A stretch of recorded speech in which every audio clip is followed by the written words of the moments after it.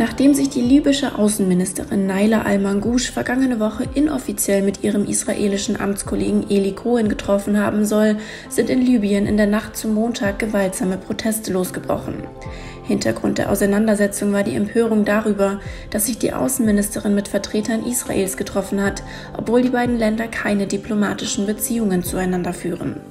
Augenzeugen zufolge sollen Demonstrierende in Tripolis Reifen angezündet und Straßen blockiert haben. Sie forderten den kompletten Rücktritt der Regierung von Ministerpräsident Abdul Hamid Baiba. Videos sollen außerdem zeigen, wie Menschen die Residenz des Ministerpräsidenten anzünden. Berichten zufolge hatte Baiba die Außenministerin bereits am Sonntag von ihrem Dienst freigestellt. Die Außenministerin selbst dementierte interne Gespräche mit Cohen.